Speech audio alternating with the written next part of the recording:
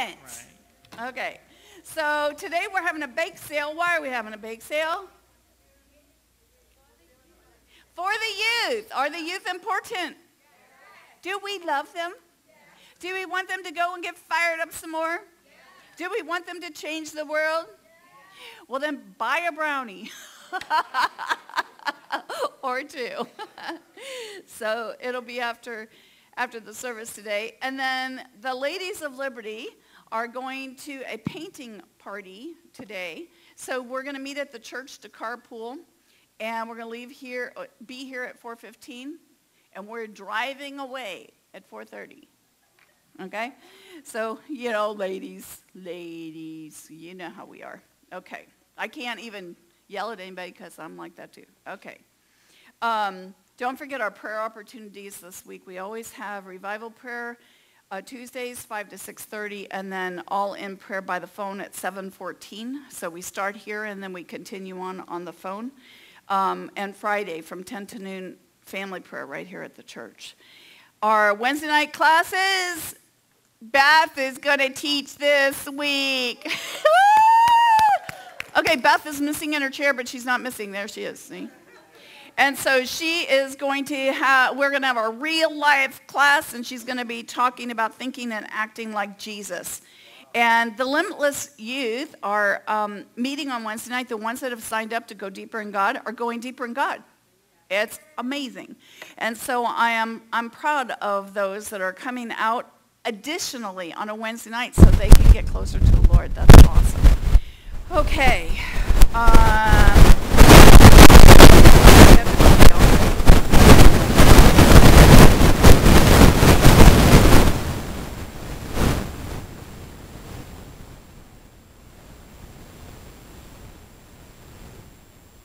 the Limitless Going to have a snack shack and a car wash while we watch the movie. Such a deal. Okay, so we can chow down and we can get our cars looking nice and pretty. And all we have to do is give a donation. And whatever donation you give, someone is matching it. So it's double yay. Yeah, yay, yay. And so um, somebody put that on, uh, God put that on somebody's heart. And so we, listen, I, I guess we got it in this church that we care about the next generations. So we're going to sow seeds into them. And um, Okay, if you want to hire a youth, which I am doing, and um, you can hire them and they'll come to your house and do whatever nonsense that you have, which I have a lot. And we're having a garage sale for them uh, as well on May 19th. So set your stuff aside. My garage is starting to fill up with stuff for their garage sale. So I'll be happy when it comes because I'm ready to get rid of this stuff that I've been collecting. Okay. All right, let's do our scripture prayer and declaration. Okay. Psalms 1, 11, 10. The fear of the Lord is the beginning of wisdom. A good understanding have all those who do his commandments. His praise endures forever. Father, we bring our nation's president before you. We pray that the Spirit of the Lord shall rest upon him and his cabinet. We ask you to give him the spirit of wisdom and understanding, the spirit of counsel and might, the spirit of the knowledge and the fear of the Lord. We declare that the Most High God who put him in office will supply all that he and his advisors need to meet the challenges of each day. And may your praise endure forever in the United States. In Jesus' name, amen and amen. Such an important declaration. Um, I know that all of you know what happened this weekend in Syria. And, um, you know, we pray for all those. We pray for all the people. I think sometimes we forget to pray for those who are also the perpetrators. And uh, listen, they're nasty. I mean, if we look at them and look at their decision making, it is a hard thing. But how many of you know that all of us are made in God's image and in his likeness? And we don't know what happened in those people's lives, but we need to lift up everybody before the Lord and pray that God will reach their hearts. Amen? So Just adding that. Okay. So I want to talk to you for a minute about the offering. How many of you know that God's word is truth? Okay, say it back to me. God's word, God's word is, truth. is truth. All right. Thank you. So the seed of his word begins to bring faith into your life. When you get a hold of God's word and it begins to bring life to you, you can look at it like a, a, love letter written exactly to you. And when you have it applied to your life, you're going to experience God in different dimensions than you ever have before.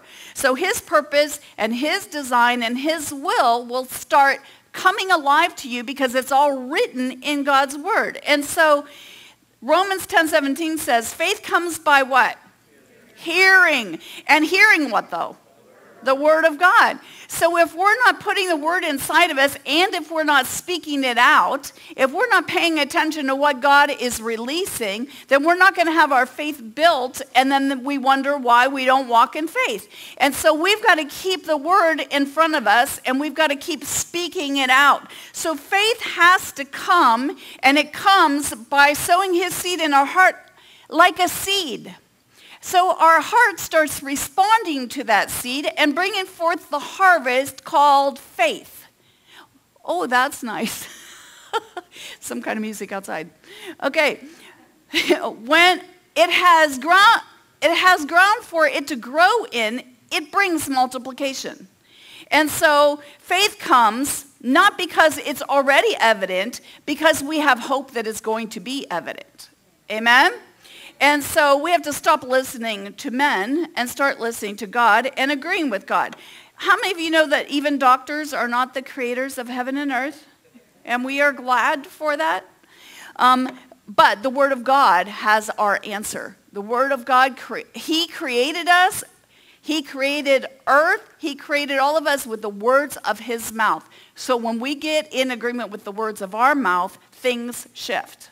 So today we're going to plant our seed, and as we plant our seed, we are agreeing with God and what his word says about this seed. Amen? So ushers, wait on the people, and we're going to make this declaration. In order for me, yeah, say it. In order for me to receive my miracle, I have to read his word. But when I hide God's word in my heart, I can receive what it says about me. I don't have to be worried about what men say.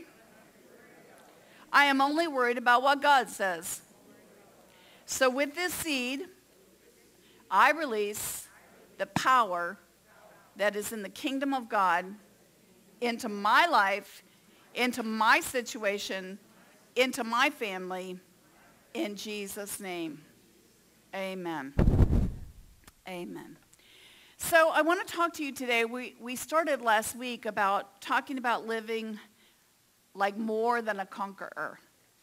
And so we have to live the way that God said we can live, and yet most of us are living far below what God has released to us, but we're going to have to change our minds. Look at somebody say, you're going to change your mind. Yep. So we are built with the blueprint of heaven inside of us, and we have to be aware that even though he has designed us to always win, we're in a fight. Now maybe you know we're in a fight.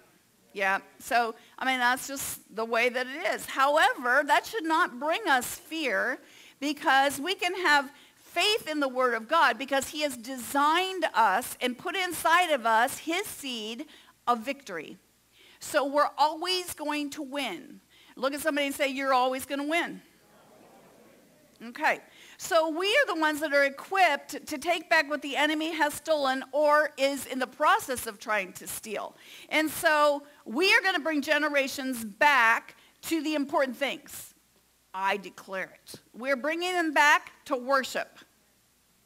Worship of God and God alone. Amen? We are bringing them back to surrender to him. We are bringing them back to hunger for him. We are going to bring generation after generation after generation back to morality. Words people don't want to hear about. Back to holiness. And therefore back to wholeness. Amen. And so we're not seeking after signs and wonders. Signs and wonders are going to be seeking after us when we do those things. When those things are in our life and we are obeying what God says about it, then signs and wonders chase after those kind of people. And so we're going to be those people. We're going to be those folks. And so how many of you know that the, the generations, if you look at them just on the surface right now, they look like they might be in trouble.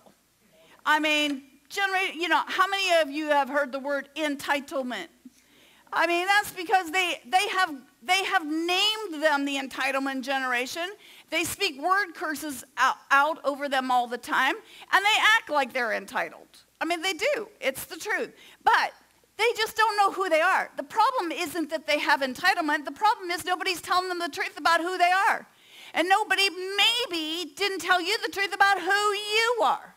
Because you are not a needy person that has no remedy. You are a child of God who has already been given the ability to have victory. You just have to choose it.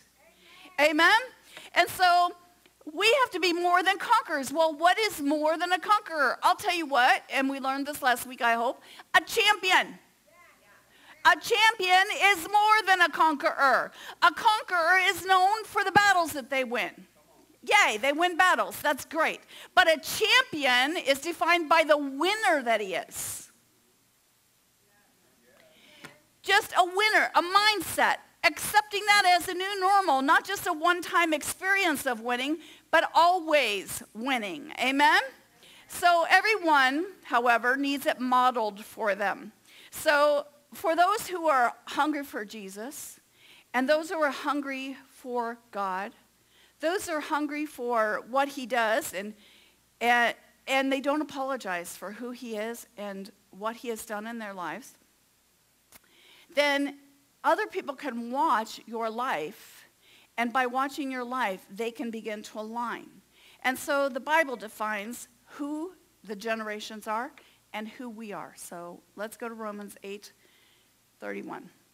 What shall we say then to these things? If God is for us, then who can be against us?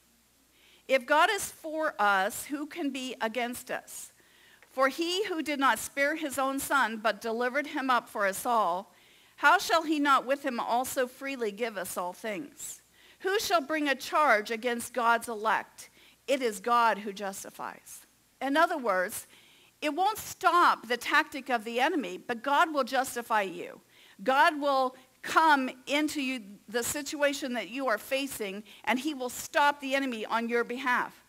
Who is it who condemns? It is Christ who died and furthermore is also risen, who is even at the right hand of God, who also makes intercession for us.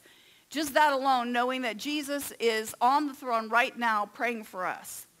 And who shall separate us from the love of Christ? Shall tribulation separate you? No. Distress? No. Persecution, no. Famine, no. Nakedness, peril, or sword. As it is written, for your sake we are killed all day long. We are accounted as sheep for the slaughter. Yet, no matter what we face, no matter what your circumstance is, no matter what is going on in your life, in all of these things, you are more than conquerors through him who loved us. Amen? So more than conquerors, champions.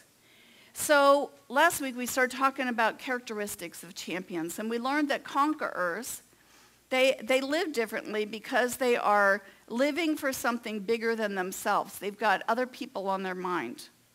They stay ready for change to happen, knowing that they have to transition, and the only way to really transition is from glory to glory, in his presence, from glory to glory. And they see what other people don't see. And so Elisha saw heavenly armies. Elisha prayer, prayed for his servant, and his eyes were open to see the same. Elisha knows that victory is on the way, and we should be like Elisha. Amen? So that really did happen. So it's obvious that champions see beyond the obvious. Okay, so we have to get used to living with the awareness that God is on the inside of us and always on our side. Champions dream, God dreams. Champions don't stop with natural dreams. They dream God dreams. It's bigger than them. And so why, if this is what the word says, then why isn't victory our everyday experience? Right? Okay, so this is the big question everybody has. Well, but I believed God and X, Y, Z. Okay, so why isn't it happening? Well, we need to change our mindset. We all need to change our mindset. From natural thinking to thinking that agrees with God. It, you are capable of this. This is what Jesus said. Matthew 21, 21. Um, Jesus answered them and said, Assuredly I say to you, if you have faith and do not doubt, you will not only do what was done to the fig tree, but also if you say to a mountain, be removed and cast into the sea, it will be done. So I have a question for you. How many of you cast a mountain into the sea this week? Right? Mm, okay. And Jesus also, is it possible? Did he, was this Jesus talking? If you look it up in your Bible, it should be read. Jesus said that you can speak to the mountain and it'll be removed into the sea. So is this possible for Christians? It is. Okay. And Jesus also said this, and whatever things you ask in prayer, believing, you shall receive. Amen. All right, I got some hands on that one. Okay, so did he say that you'll do it by hoping that you'll get it? No. He said, whatever things you ask for in prayer, believing. You got to add the believing part to it, and you will receive. He didn't say maybe sometimes. He said if you believe it, you're going to have it. And so we sometimes skip over this scripture because it kind of puts some responsibility back on us, doesn't it? I mean, God already said you can have it. He's already paid the price through Jesus Christ, his son. But he said you have to pray and you have to believe when you pray, and then you're going to have it. This is how champions live okay? You have to conquer your own mindset by renewing it with the word so you can find the champion that's inside you. You're not going to find your champion if you're not a conqueror. The first thing you have to conquer is you. Amen. Amen. So our brain needs to align itself with the truth of God's word, which supersedes the natural. And so if we're concentrating on whatever is happening around us instead of what God's promises are, then we get beat down and we lose the victory. And then we lose the victory mindset. Okay? So this is, Paul was a champion. How many remember Paul? He used to be Saul. But he sure changed his mind. He changed his mind from persecuting Christians to becoming one.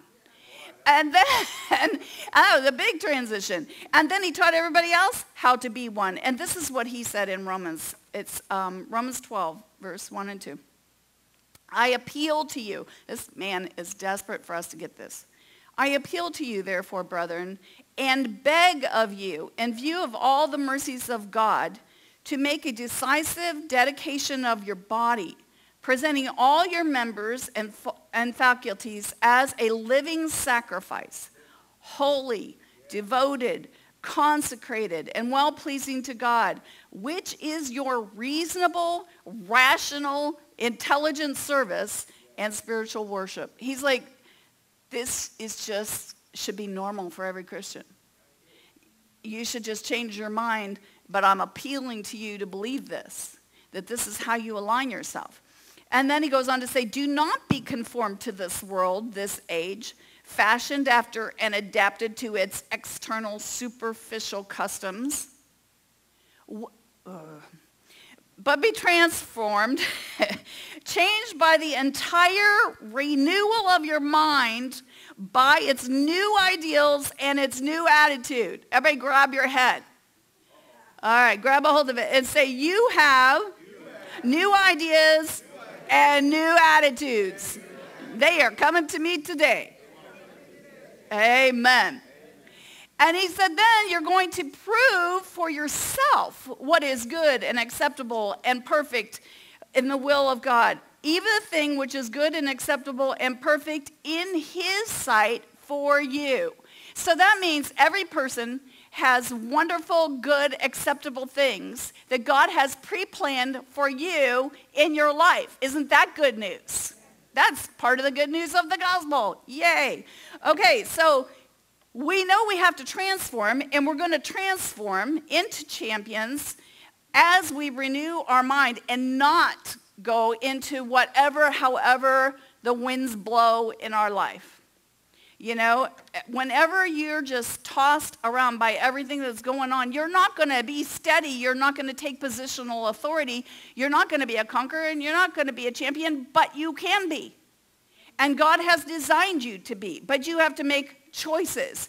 And so we can't be defeated in our own mind. So this is what the enemy does. He'll try to give us a situation where it is familiar to our family line. You know what I'm saying? Like, uh, okay, Dad, I love you and you're in heaven, so I guess you're okay with this. My dad operated in a spirit of fear. He was always afraid, but it was money. It's always about money. It Drove me crazy. Well, I better not say that out of my mouth.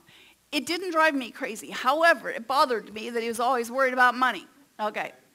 And so it, that was a big deal all of the days of his life. He had to fight against that fear. Well, that tries to go from generation to generation, and you start, well, I don't, I don't really worry about money, but it was hard for me to come to that conclusion that I didn't have to worry about money. But the way that I learned not to worry about money was because God proved his love towards me in a natural, through a natural means, but a supernatural way.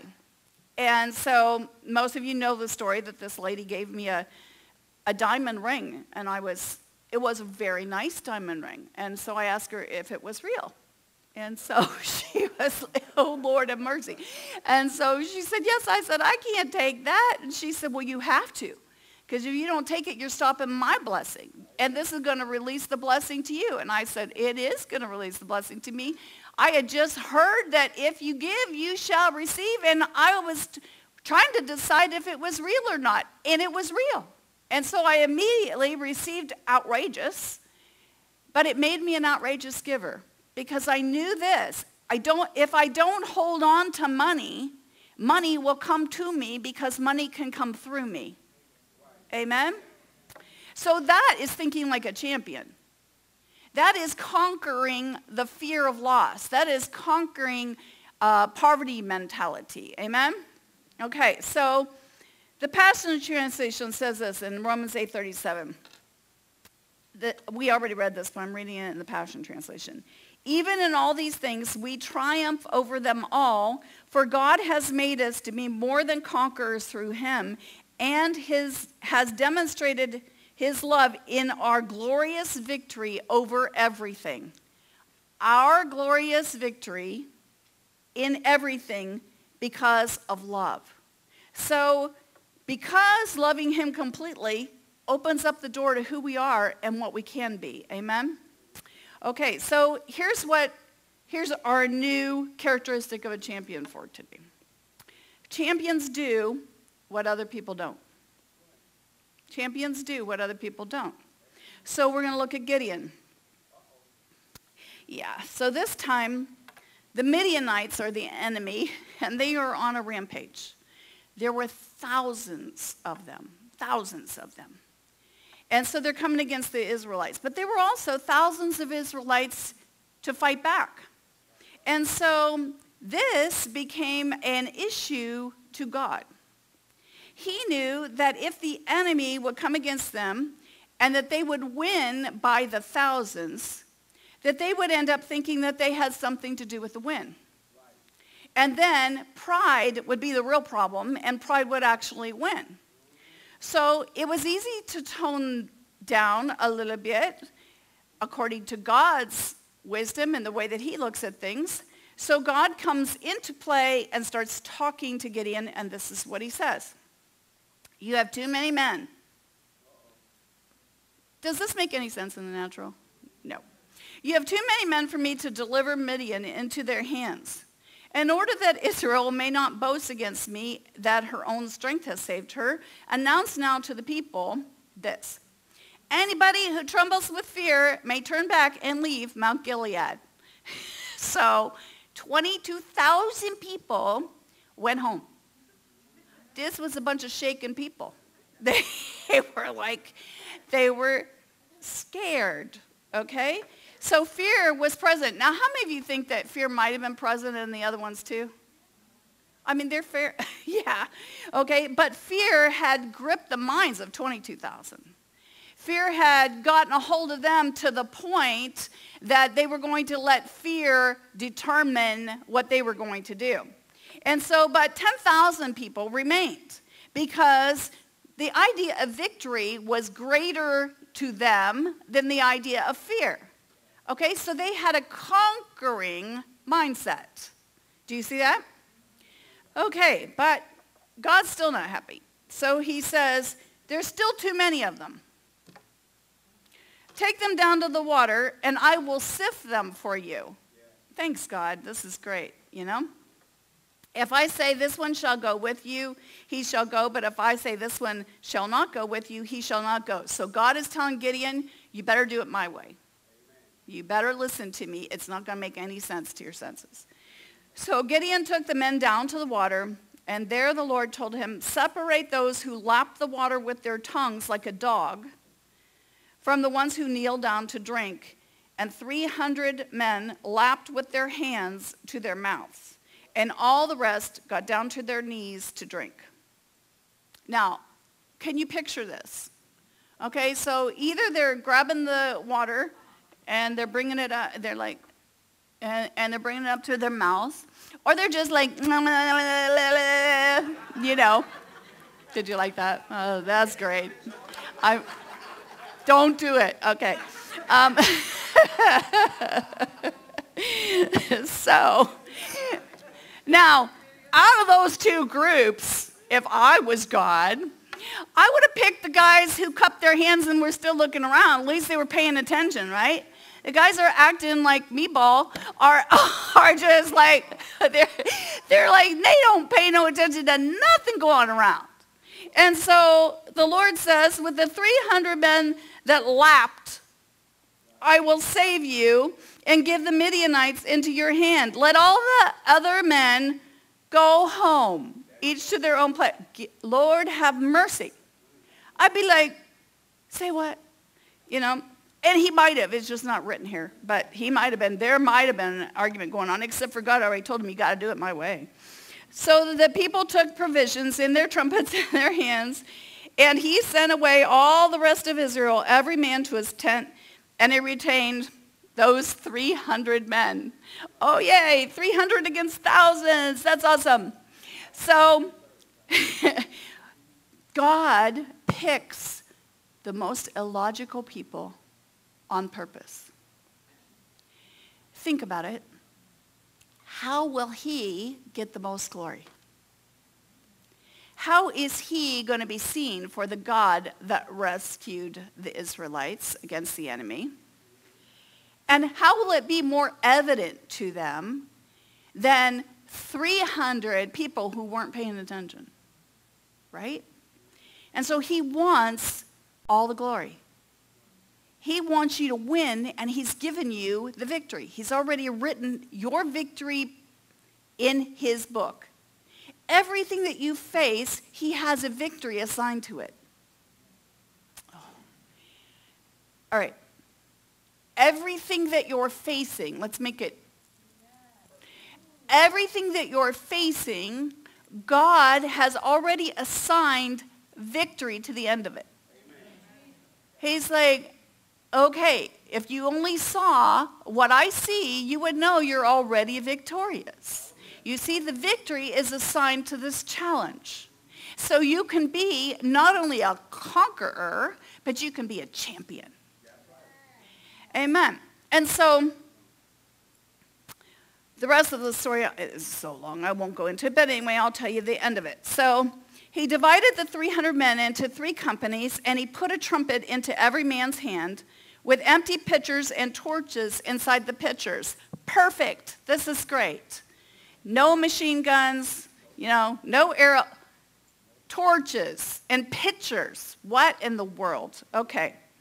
And then he says, uh, look at me and do likewise. Watch. And when I come to the edge of the camp, you'll do as I do. And when I blow the trumpet, I and all the men who are with me, then you also blow the, blow the trumpets on every side of the whole camp and say, the sword of the Lord and of Gideon. Oh. So the people are going to have to go along with this. You got 300 people that are going to go along with this weirdness, okay? And so Gideon and the 300 men who were with them came to the outpost of the camp at the beginning of the middle watch just as they had posted the watch, and they blew the trumpets, and they broke the pitchers, and then you could see the fire, and the three companies blew, uh, okay, and they had the torches in their left hands and the trumpets in their right hand, and they cried, the sword of the Lord and of Gideon. And every man stood in his place all around the camp, and the whole army ran and cried out and fled. Well, that's a cool way to win a battle, isn't it? So when the 300 blew the trumpets, the Lord set every man's sword against his companions throughout the whole camp, and the army fled. Now, why did they cry, the sword of the Lord and of Gideon? Now, we know that it was the sword of the Lord that would win this battle because this makes no sense. Okay, so we know God is in the midst of this, and he has already written victory onto this challenge. He's already got it. Okay? And then it's all against natural odds. But why the sword of Gideon? I'll tell you why. Because if you back up some in the Word of God and we first find Gideon, we find Gideon hiding in fear in a wine press away from these people. So now something has happened to Gideon. You see, Gideon had to face his own fear he had to get past his own issues. And when he did, and he did through relationship with God, he became more than just a conqueror. He became a champion that God could trust to lead other conquerors.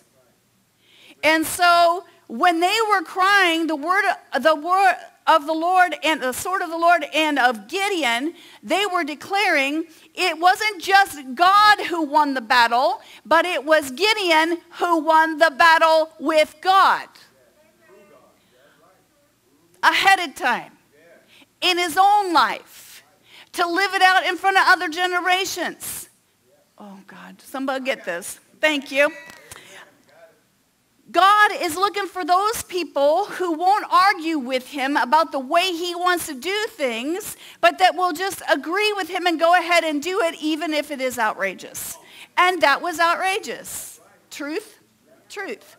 Okay, so, but there is a champion inside of you. So look at somebody and say, there's a champion inside of you. You people are staying awake today. I'm going to make you talk to each other. Mm-hmm. Okay. Champions operate differently. Okay, so the next point is this. Champions operate with a commanding anointing. And that means this. They talk like other people don't talk. Champions talk like other people don't talk.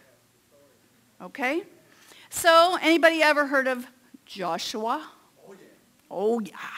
That sounds just like my dad. He, he is famous for the Battle of Jericho. You know, I mean, you know, the, the Israelites are finally going to make it into the promised land, except for there's these huge walls and a bunch of enemies. And so Joshua hears from God, and he says, this is what we're going to do. We're going to walk around the city for six days. On the seventh day, we're going to shout. And that makes sense. And the walls are going to fall down. All right? And so, but he had learned something through that experience the power of words. Amen? And so those walls did not have a chance against the instructions of the Lord. And the instruction of the Lord is release something from your mouth and the enemy can't win against it.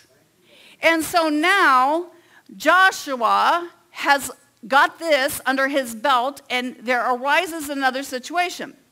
So five kings have come together and they've decided they're going to come against the Gibeonites. Now, the Gibeonites are, you know, in close territory, and they had fooled Joshua by coming to him and they put on their old clothes and they made themselves look like they've, they've been walking forever and ever. And then they said, I need you to come into covenant with me. And the whole reason why was because they knew God was on his side.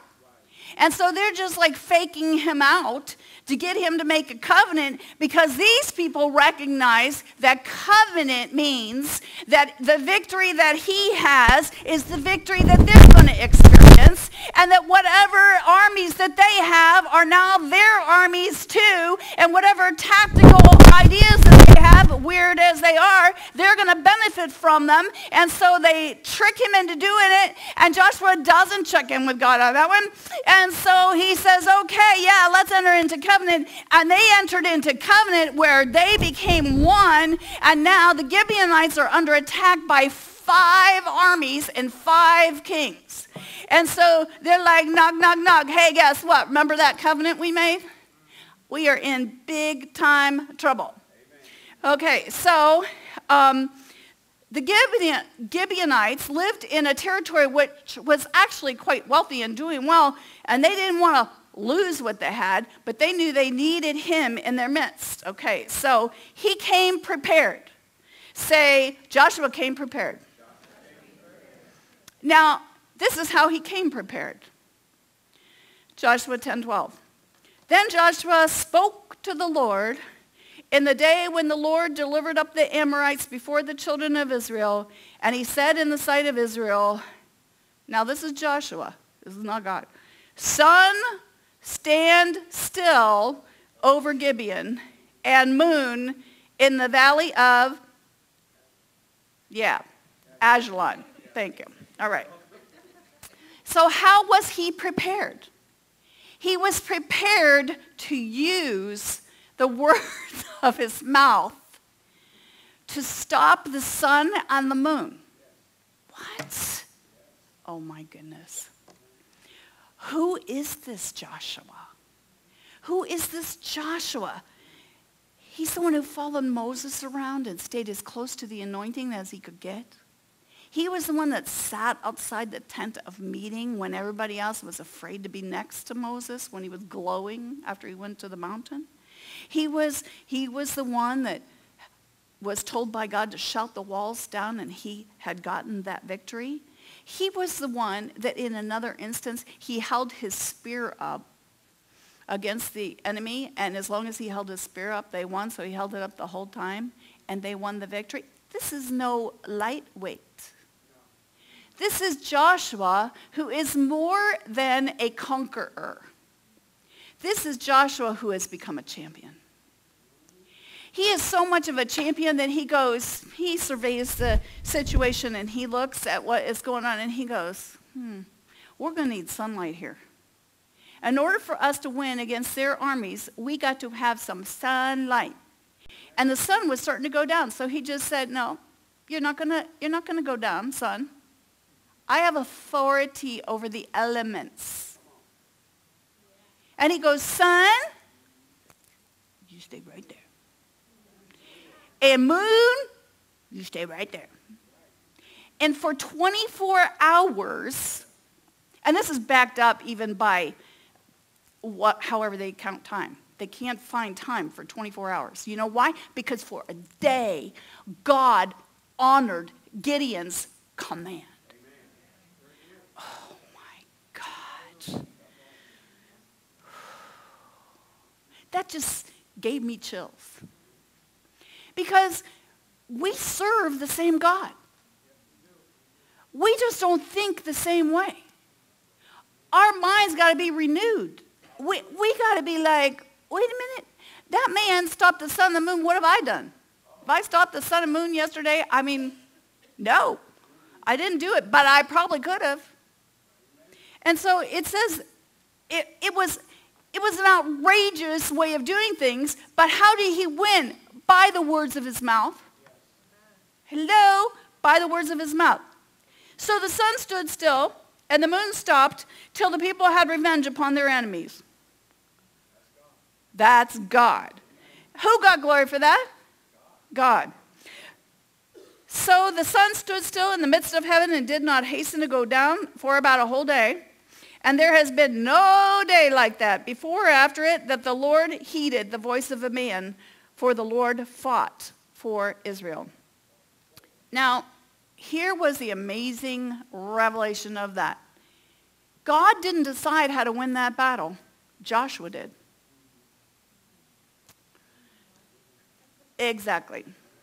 God didn't say, every other time we've read about this and we're learning, God told them what to do. He goes, shout, okay? He said, speak. He did, right? He said, wait till they lap. He was the orchestrator of it all. But this time is different. This time Joshua goes, hmm, this is what needs to happen. And he says that he says to the Lord, I need this moon over here to stand still, sun over here to stand still. And it says that the Lord responded to his request.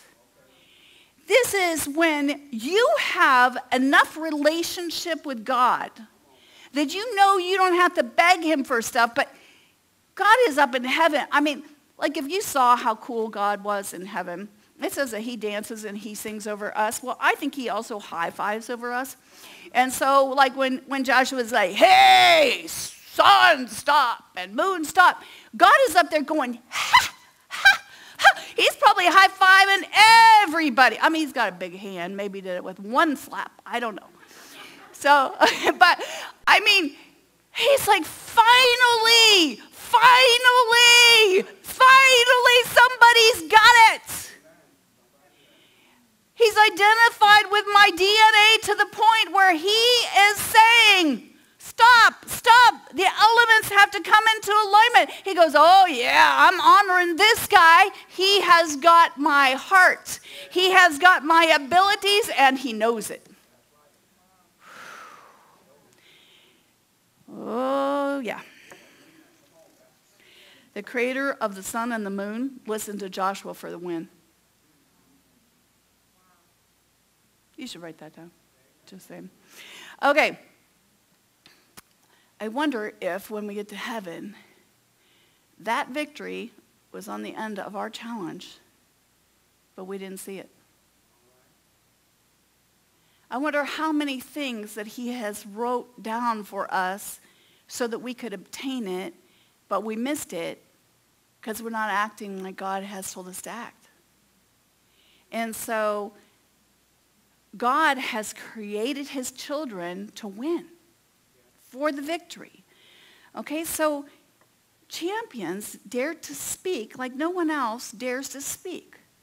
I mean, people think you're crazy you start commanding elements and they think you're crazy. So this, this week I was talking to somebody and they were talking about, if I told you his name, everybody probably know it, but you'll have opinions about him, so I won't tell you who it was. So he is an older, wonderful, spiritual man of God. And he was mentoring a younger, wonderful spiritual man of God. And so they were talking and communicating and his wife called and said, you got to get out of there. There is a tornado heading straight for the building you're in, straight for you. Get out of there. And the younger man of God saw the older man of God just get up, go to the window and say, you, funnel cloud, you're going to go right back up where you came from. Just dissipate. And, the, and it did. It just sucked right back up in the air. He saw it with his own eyes. And he's like, and he said, the thing what, now, listen, we've done similar things, at least most of us here have. We've stopped storms. I've stopped rain. I mean, we know this principle. But he said the difference was, was that the authority in which he spoke was so thick that it, it was he could hardly stand because the authority there was he was just telling the elements just like Joshua did that day what they were going to do and they were going to do it I mean, I prayed and told rain to stop, and it stopped, and I prayed and told rain to stop, and it didn't. But it's okay, I'm practicing. And I'm learning. And we're all in process, but this is a man of God who has decided that whatever he says, God is going to back. And so champions live like this. Champions think like this. Champions do things like this. They expect God to move on their behalf, and God moves on their behalf. Amen? And so we have to take courage like a champion to walk into uncharted territory. That means we're not going to please everybody. We're not going to convince everybody. People are going to think we're out there in the another realm that they can't understand. But what do you care if you get the victory? If you get the victory, you're going to train somebody else how to get the victory. And so we are, we are those who are after the victory, and we really shouldn't care how it looks to somebody else. We should care for the win. Amen. We're going for the win. Amen. Amen. And so you have to discover for yourself what God has said about you. So there has to be boldness inside of you. There has to be a daring inside of you. There has to be a willingness to step out and, and to be strange to the mindsets of other people. Because the world does not think this way. But God's word is this way. So yesterday, uh, a friend of mine from St. Louis came. She was in between um, flights. So she just came to my house for like an hour and a half. But I happened to be the one who led her to the Lord oh, long time ago. Long time ago. So here's how that went. She worked down the hall from me, and uh, she came down to say hi and introduce herself. She was oh so cute. She had horses and long blonde hair, and she used to like do the barrel riding and don't ask me all that stuff. Okay. She was so cute, but she said she wanted to go to lunch, so we went to lunch and we became friends. And so I said to her, she told me all this. I didn't remember these exact words and stuff. She said, you said, so, if you die today, you going to go to heaven? She said, well, I'm Catholic. and she said, well, she said, you said, well, that's really good, but do you know that if you die today, you're going to heaven? And She goes, I don't know. Can you know that? And I said, yeah, you can be absolutely assured of that. And she goes, well, how would I know that? And I said, well, you have to really believe that Jesus is the Son of God. Ask him into your heart, and he'll come in, and then you will have eternal life through him, according to John 3, 16, 17, which I quoted to her. And she said, I was like, well, I want to know where I'm going when I die for sure. I don't want to hope. I, I want to know. So I'm going I want to pray that. I said, all right, let's pray. So we prayed and we became fast friends after that. And she said, she said, you will never know. She goes, from that point on, my life ha- was transitioned, but she had to keep walking the walk, reading the word, speaking the word, and doing the word. But as she did, she became more and more and more victorious. And so now God has given her land and she has lots of horses and she does weddings and stuff on her property. She's got a wonderful husband. She is winning in every area because she transitioned from not knowing who she was to knowing the God that created her and aligning herself to his will in her life. That is how it all works. Is that champions have to begin somewhere. And they begin by acknowledging who the Lord is in their life. Number one, who is he and have you accepted him as Lord and Savior of your life? Then they have to get into his word and begin to agree and align themselves with the word. And then as you align yourself with the word, these things are no longer strange to you because you know the greatness of your God. Because you know how big he is and how little circumstances are. And whatever is in your heart to do and to accomplish, he does it through you, with you and through you. And so, who is a champion in this house?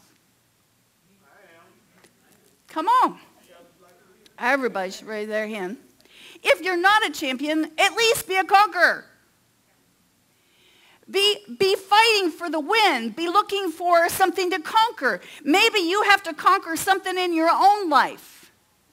Maybe you're like Gideon who's hiding in the wine press when God comes to get him out. Maybe you're the person who is, who is afraid of what God might require of you.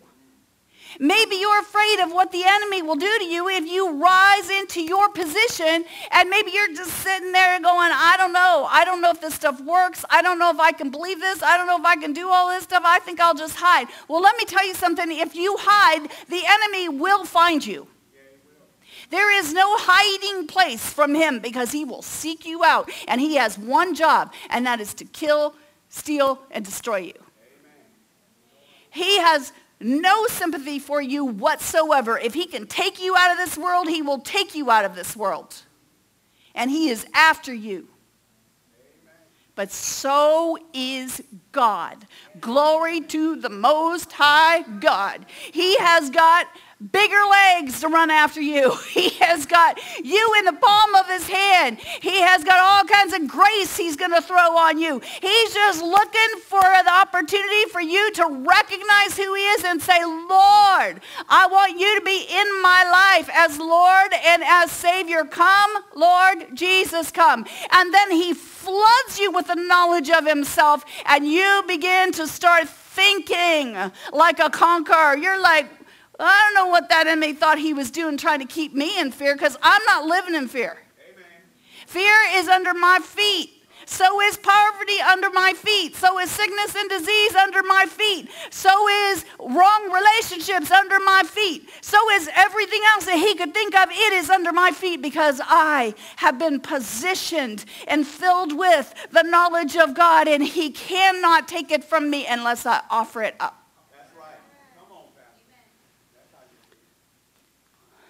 Champions live with faith. They have faith thinking and they know the power of their words. They know that they don't have to stay in the natural, but they can do what other people can't do. And they don't have to apologize for it. They have courage and they step out.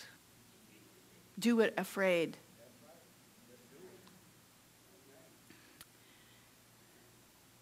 It isn't about how big the fight is against you. It's about how big God is on the inside of you. Mm-hmm. Jesus said this, and I'm going to close with this. Jesus said these words to infuse us with hope. So get infused today. Like, infused. This is the stuff that keeps you alive. This. Okay. John 16, 33, Passion Translation. These things I have spoken to you that you may have peace. The world is looking for peace. In this world, you're going to have tribulation. Oh, yeah. But I have overcome the world. But you must be courageous, for I have conquered the world. Glory to God. Conquered here, when he says he has conquered, it means filled with joy, filled with joy. Because when Jesus won against the enemy, he was a happy camper because he knew he could pass it on to you. And so we are on the winning side.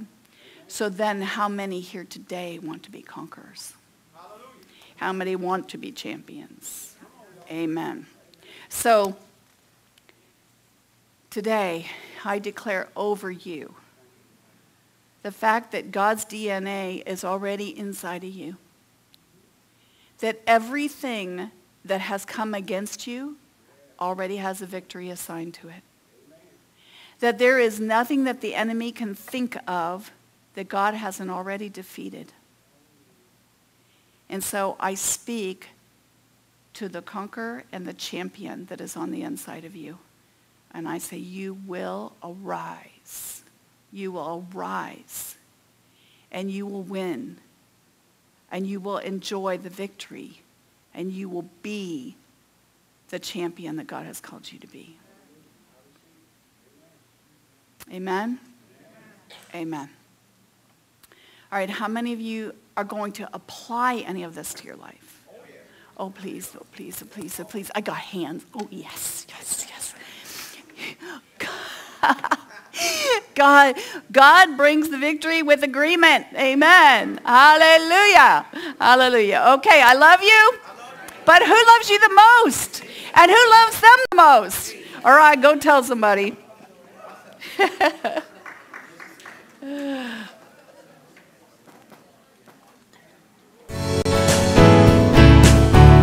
If you would like to support this ministry with a financial contribution, visit our website at www.libertylifecenter.org. Find the link to the left that says Donate Now and follow the instructions there. Thank you for being a part of what God is doing worldwide through this ministry.